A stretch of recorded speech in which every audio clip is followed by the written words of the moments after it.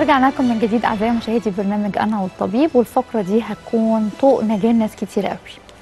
آه، دايما لما بحب أتكلم عن علاج الألام ببقى من جوايا مبسوطة لأن أكتر حاجة ممكن تضايقنا وتعصبنا وتحسسنا إن الدنيا جحيم الوجع. يعني أنا ممكن يكون عندي حاجة وكوني إن أنا مش حاسس بيها ممكن أتجاهلها اخر إن أنا أروح للدكتور لكن ممكن تبقى حاجة بسيطة صغيرة قوي. وعامله لي ألم بتبقى بالنسبة لي حاجة أكبر بكتير من الحاجة الكبيرة دي. آه، في دكاترة شاطرة جدا و... وانتوا عارفينهم ومحققين نجاح كبير قوي ومعايا على مدار سنين في في في كذا قناة طبعا وأنا بتشرف إن هم موجودين معايا في صدى البلد وبرنامج أنا والطبيب آه لأن هم محققين نجاح كبير ومش سايبين حد. رايحين لكم في كل المحافظات. آه علاج آلام خشونة الركبة علاج آلام آه سواء أي مشكلة في العمود الفقري دي حاجة مش آه مش سهلة. ولكن عارفين السهل الممتنع اللي هو ال- الحاجة اللي هي أنت خففتني وحس وخلتني أمشي وناس كانت بتمشي بعكاز ناس ما كانتش بتتحرك ناس مش عارفة تصلي ناس مش عارفة تقوم حتى تعمل تاكل لقمة مع نفسها. كمان معانا مفاجأة حلوة قوي قوي قوي قوي وتقرير لفنان كبير. أنا من خلال برنامج أنا والطبيب بقدم له يعني يعني بقول له ألف مبروك وألف شكر طبعا للدكاترة اللي يعني مشرفيني أنا وقايمين معاه بمجهود جميل زي ده وقالوا لي كمان هو اللي صمم إن هو يعمل التقرير ده من كتر فرحته إن إن ركبته الموضوع اختلف معاه خالص. هنشوف التقرير طبعا ولكن خلينا نرحب بالدكاترة المتميزين دكتور سامي أنديل استشاري أول علاج الألام والمفاصل والعمود الفقري بدون جراحة دكتور يوسف سراج الدين استشاري جراحات العظام والكسور وعلاج ألام المفاصل. أهلا وسهلا بكم ونورتونا. وحشتوني جدا جدا جدا ومكسرين الدنيا كالعادة. وجايين لي. بمفاجأة حلوة قوي. أول ما سمعتها أنا بصراحة قلت إيه ده؟ إيه ده يا جماعة؟ إيه إيه المجهود الكبير يا دكتور سامي اللي بتقوموا بيه ده؟ إزاي بيبقى فيه آه، يعني تطور كده؟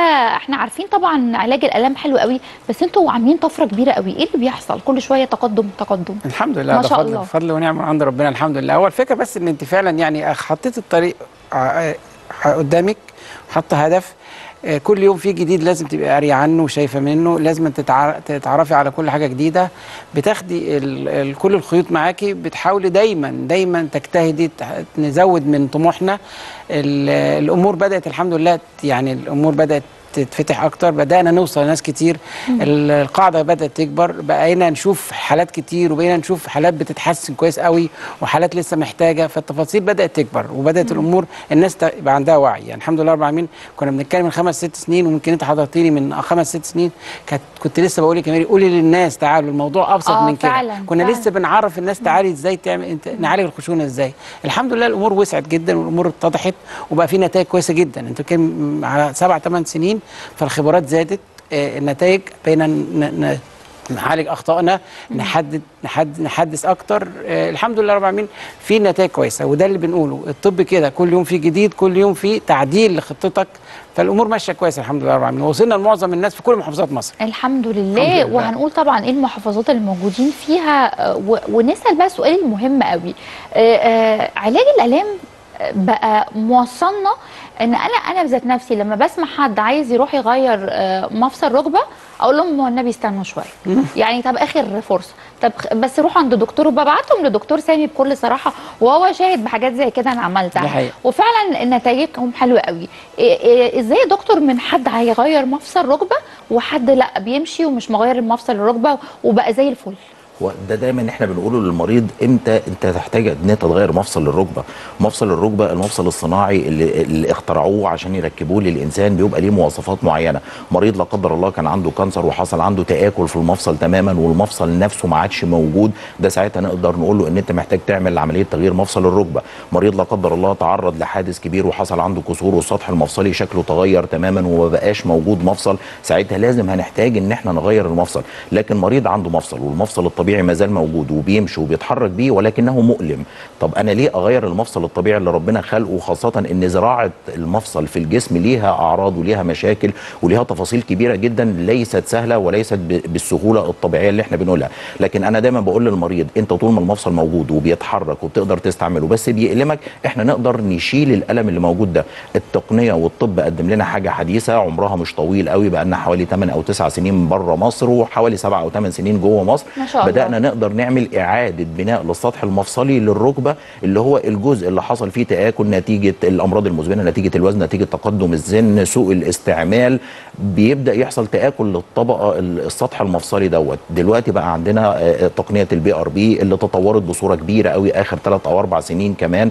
الأنابيب اللي بنعمل بيها عملية الفصل طريقة تركيز الصفائح الدموية عوامل البناء اللي موجودة على الصفائح الدموية. لو فيها ضعف عند أي مريض نقدر نصلحها نقدر نجيب العوامل ديت من بره وبنقدر نزرعها دلوقتي على ال PRP بتاعة المريض بتعمل إعادة بناء للسطح المفصلي مع شوية تعليمات صغيرة بنديها للمريض. لو العوامل الهدم اللي عندك اللي هي الوزن السكر الروماتويد المشاكل الصحية اللي موجودة عندك أنت بتصلح المشاكل ديت اللي هي بتعمل عوامل الهدم وإحنا بنعمل لك بنسرع عملية إعادة البناء بتاعة السطح المفصلي فبيختفي الألم. بنخلي الناس من, من واحد قاعد مكانه بالظبط. أو عارفة إن في ناس بتجي لكم أول جلسة بعكاز وناس وكرسي في متحرك. ناس كرسي متحرك ما شاء الله وبيطلعوا. سلالم. وبينزلوا آه آه دايما بحب أكد مع حضراتكم إن الحقن ده ما فيهوش كورتيزون يا جماعة عشان الناس اللي واخدة feedback أو أو سمعة غلط قبل كده زمان بحقن الكورتيزون الموضوع مش كورتيزون العلاج طبيعي 100% بيتم إزاي يا دكتور الحقن بص هو أول حاجة الحمد لله رب العالمين وبرده يعني الكلام ده إحنا بنقوله وبيتنفذ والمريض بيشوفه. بعينه إحنا المريض لما بيبقى بنعمل له consultation ونشوفه ونحدد درجة خشونته بنعمل له خطة علاج وبيتكتب فيها وبيبقى شايف إن هو احتمال يحت- يعوز جلسة أو جلستين درجة خشونته الدرجه الثانية حطينا له البروتوكول. بيتنقل من عندنا بعد ما بنكشف عليه ونكتب له الفيتامينات والادويه اللي إحنا هنمشي عليها أو الدهانات. يدخل على المع... على دكاترة المعمل بياخد عينة الدم. ده قدام عينيه لأنه بقى أهله معاه كمان ماشيين أو المرافق ليه. بعد كده البلازما بتتفصل قدامه وندخل على أوضة البلازما اللي هي أنا بسحب عينة عينة الدم. من, من الشخص اللي هو من المريض، آه. هيحقن. آه اللي هو عشان نأكد بس آه عليه طبعا. عينة الدم منه بيبقى مرافق معاه وهو موجود. دكتور المعمل بيشوف صورة وهو الدم فايق بتاعته. مش متبنج في أي حاجة. آه. okay. دكتور المعمل بيتكلم معاه وبيشوف صورة الدم ويشوف نسب ال- ال platelets والصفائح اللي عنده قد إيه. بعد ما بنفصل البلازما وكلها الحمد لله رب العالمين ما فيش أي إيد بتلمسها لأن كلها حاجات بتتفتح لأول مرة. أنابيب من كيسها من علبتها والسرنجات والكانولا كل حاجة بعد كده بتروح متكيسة ومتغلفة لأوضة الحقن.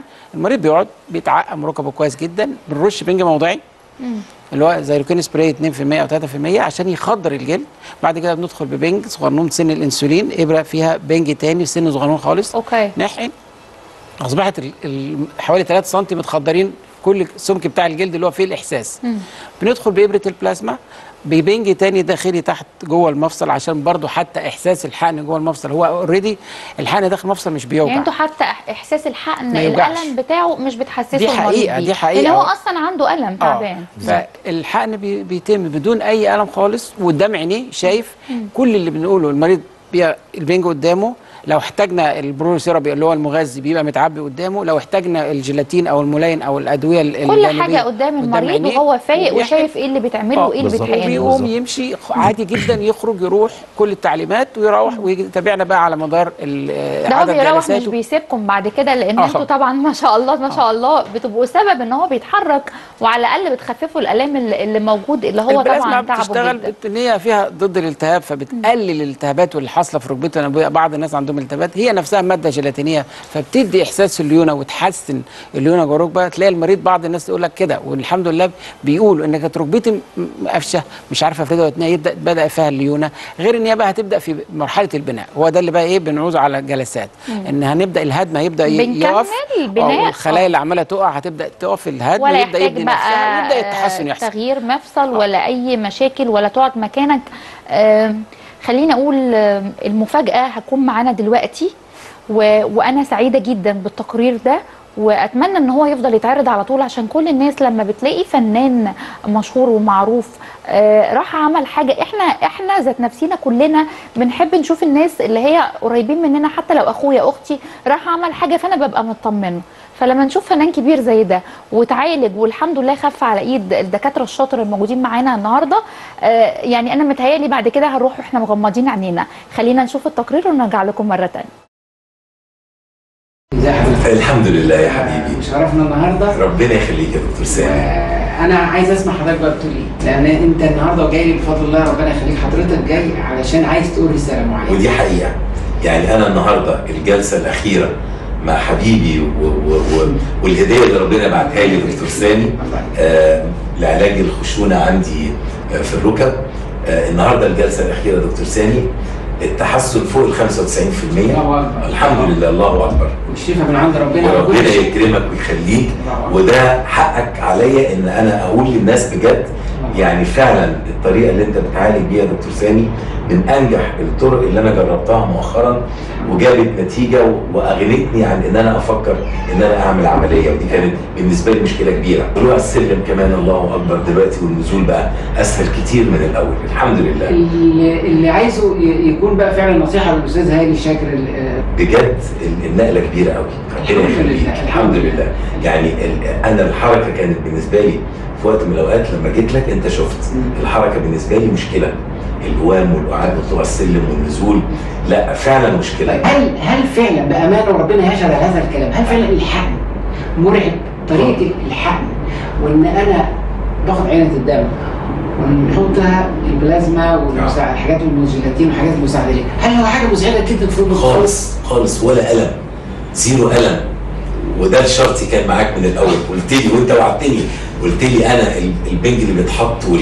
ويعني هي شكل الحقنة قد يكون بيخض آه والله ال- أيوه لكن الحقيقة والله أنا لما اغمض عيني أنا ما حاسس ابدا أنت بتعمل إيه دي حقيقة أنا- أنا- أنت. حريص كده كمان على لأن هو الفكرة في إيه؟ إن فعلا دي حقيقة علمية إن الحقن داخل المفصل مش بيوجع إنما. الدخول بالإبرة هو إحنا. عندنا الطرق البسيطة. السهلة بنج موضعي بنرش بنج وندي بنج موضعي بسن صغنون.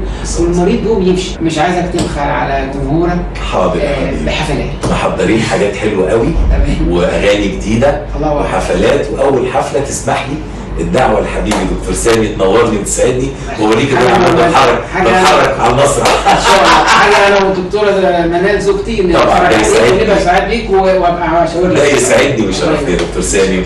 ألف ألف شكر ليك يا حبيبي. على اهتمامك وذوقك والاستقبال الرائع الجميل اللي من حضرتك ومن كل اللي في العيادة ربنا انت يخليك شرفتنا وانت حضرتك يعني اكبر اكبر صورة مشرفة لينا ان إحنا الحمد لله بنحاول نخدم الناس والحمد يخليك. لله رب العالمين ان ربنا بيض وشنا معاك والاستجابة بتاعت ربنا والشفاء. عشان قلبك الأبيض حبيبي. ربنا يسعدك ويخليك ليا يا رب الله. يبارك شكرا رجعنا لكم من جديد وعايزين نقدم آه، يعني ألف شكر للدكاترة اللي منورينا النهاردة على النجاح الجميل وبنقول طبعا ألف حمد لله على السلامة لفناننا الجميل أستاذ هاني شاكر اللي دايما آه، يعني بيسعدنا بصوته الحلو. وصل لكم إزاي؟ قول لي بقى يا دكتور. والله هو ال- الظروف إن كان في يعني مريض عندي راجل محترم قوي اسمه أستاذ إبراهيم. زميل جدا وصديق أسري مع يعني الدك- صديق، مع الأستاذ هاني آه. فكان عمل. عندنا بلازما في مدينة نصر وتحسن جدا. فبكلام بيجيب بعضه بقى. فهم في- جلسة عائلية فقالوا لا ده أنا عملت كذا وكذا ولقيت الأستاذ هاني بيكلمني. الأستاذ إبراهيم اداله ال- الرقم. فقلت له طبعا تشرفنا وتنورنا.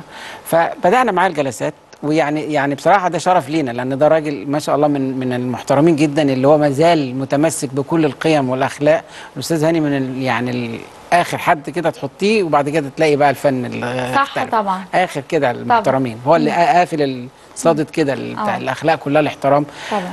فطبعا أنا أنا في الأول كنت يعني قلقان إن هو يبقى خايف لأن هو فعلا بيقول لي في بخاف ناس جدا. أصلا بيبقى عندها حتى فوبيا من الحقن فهو فقلت له لا. ما- تقلقش هنبدأ خطوة خطوة ده قال لك. زيرو زيرو آه آه، بأمانة. يعني هو هو بيقول لي أنا بخاف من بخاف. من حاجة اسمها حقن ومرعوب قلت له لا خطوة خطوة معاك. آه، بعد ما خلصنا هو طبعا أنا أنا عايز أقول لك ان إن الفيديو ده آه، هو اللي طلب يعمله بعد ما خلص ال- الجلسات الحمد لله. ويمكن قبلها بحوالي آه، في الجل بعد الجلسة الثالثه هو كان عامل حفلة قريب من حوالي أسبوع و10 أيام في القلعة. ما شاء الله قعد ثلاث ساعات رايح جاي على المسرح شاء الله، ما شاء وبيغني الله. فهو الحمد لله اتحسن انبسط جدا وخف الحمد لله فنان جميل. وقيمه وقامه كبيرة علمية طبعاً. وحضرتك وهو وهم وهو قيمه وقامه آه، فنية فعارف يعني الحلقة دي دسمة قوي آه وهو هو اللي أصر ان يعرف الناس لأن قال لي فعلا الناس ما تعرفش وده فعلا خير ولازم نعرف الناس. منه دي خلينا. نسأل دكتور سراج هو آه، يعني آه، إحنا شفنا الفنان الجميل هاني شاكر آه، فرحان ومبسوط اللي وصل له ده بعد كام جلسة وبعد المدة المدة كانت قد إيه؟ هي دي الفكرة اللي إحنا بنقولها إن إحنا ال- ال- الحلقة ديت زي برضو النقطة اللي أنت أثرتيها إن إحنا ما بنتكلمش على الكورتيزون لأن الكورتيزون بيبقى تأثيره لحظي وسريع وبيرجع تاني. وللأسف للأسف. بيعمل تآكل زيادة للمفصل. لكن الحلقة ديت لما صورناها مع الأستاذ هاني إحنا تقريبا كان بعد ثلاث شهور تقريبا من فترة العلاج بعد كذا جلسة متكررة. يعني هو كان بيجي في المواعيد بتاعته كان ملتزم جدا ومنضبط جدا في مواعيده. لما بنقول له الميعاد كذا بيجي وبيحب يسأل وبيحب يفهم وهنعمل إيه المرة دي؟ وبدأنا نعمل معاه عملية البناء. عملية البناء ديت لما بدأت تظهر النتائج بتاعتها الحمد لله بيبدأ الألم يختفي تماما لأن الجزء السطح المفصلي اللي كان حصل له تآكل بيظهر تحتيه الأعصاب الطرفية اللي بتعمل الآلام بدأ يتغطى عن طريق حقن البلازما فبتتكون الطبقة الطبيعية ال- ال- المفصلية. فالألم بيختفي فيبدأ يتحرك من غير ألم يبدأ يتني ركبته براحة من غير ما يبقى عنده أي مشكلة يقدر يقف ويقدر يتحرك. ومن ضمن التعليمات اللي إحنا دايما بنقولها للمريض بتاعنا اتحرك دايما امشي دايما ما تستسلمش هو للقعده حتى- أول ما أول ما يحس إن ما فيش ألم بالظبط. هو أصلا هيتحرك. هو في فكرة مين خاطئة. في مين فينا بيحب يقعد؟ لا في ناس كبار السن بيبقى عندهم فكرة يقول لك إن أنا لو مشيت أو استعملت ركبتي كتير أنا بزود التآكل اللي موجود فيها ودي معلومة طبية خاطئة تماما. الحركة أو المشي بانتظام لفترات مش طويلة قوي ده بينشط إفراز السائل الزلالي بينشط بيقوي العضلات اللي موجوده حوالين مفصل الركبة بيحسن الصحة العامة بتاعة الجسم فبيخلي المريض يبدأ يتحرك أكتر. وده اللي شفناه مع الأستاذ هاني الأمور لما بدأت تت... الألام بدأت تختفي عنده بدأ يتحرك ما عادش فيه مسكنات الحمد لله وبدأ ينشط يمارس حياته الطبيعية تماما. أنا مش عارفة أقول لكم إيه غير إن أنا كان نفسي الفقرة دي تبقى ساعة ولكن آه، في تقرير هيكون معانا يا جماعة آه، بنبين فيه كمان إن الدكاترة الشاطرة دي مش بس بتعالج مشاكل آلام آه، الركبة لأ كمان آه، مشاكل آلام العمود الفقري وهيكونوا معانا في فقرات كتير هنتكلم بدقة عن العمود الفقري ومشاكله وإزاي بنعالج الآلام فيه. بس خليني طبعا أشكرهم بنشكر دكتور سامي انديل استشاري أول علاج آلام المفاصل والعمود الفقري بدون جراحة ودكتور سراج الدين استشاري جراحات العظام والقصور وعلاج آلام المفاصل. أنتوا نورتونا وهنشوف التقرير وهنرجع لكم بعد كده بفقرة جديدة. في الفقرة الرابعة والخامسة عملت رنين الدكتور قال لي إني لازم ابيت شريحة مصرية. كنت بروح لأي دكتور كان يقول لي غير مفصل